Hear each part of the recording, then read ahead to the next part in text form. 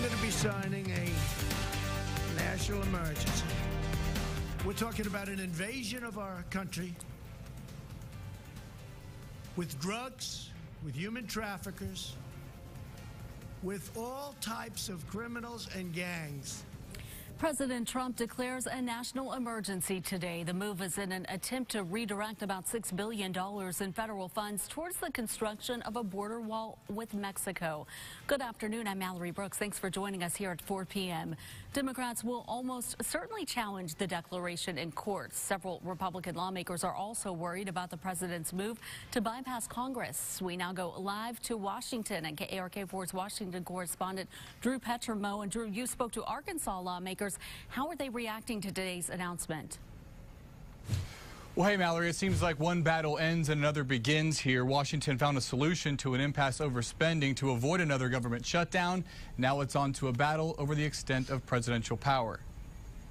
On Friday, President Trump signed a bipartisan compromise on border security to avoid another government shutdown.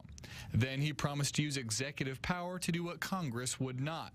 The compromise included nearly $1.4 billion for 55 miles of new border wall. By declaring a national emergency and redirecting defense and treasury funds, the president says he can spend 8 billion more dollars to extend the wall farther. At some point, the president has to show leadership and not act like a spoiled brat or a bully. Democrats like Mississippi Representative Benny Thompson and Alabama's Terri Sewell say the president is misusing powers reserved for Congress. The Constitution is pretty clear that it gives the uh, constitutional power of the purse to Congress. Democrats are promising to fight the president's move, and there's already talk of legal challenges. And even some Republicans oppose the plan. This is not what the National Emergencies Act was intended to be used for. Republicans like Arkansas Senator Tom Cotton say they're waiting for details. He has many delegated powers from the Congress, but those, they can only be uh, used in certain ways. But others, like Louisiana Republican Clay Higgins, said for weeks they support the president acting alone. He has a constitutional obligation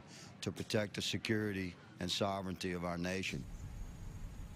Now, one of the warnings about this uh, precedent is that it act, one of the warnings about this executive action is that it sets a bad precedent. That really comes from both sides. This time it's being used to address border security, but opponents, even on the conservative side, say it could be used by a future president to address, address things like gun control or climate change.